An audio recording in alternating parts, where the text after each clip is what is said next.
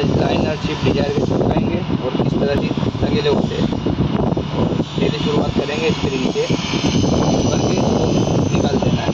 तो साइड में रखना है दूसरे को इस तरह से आगे ये निकल जाएगा आसान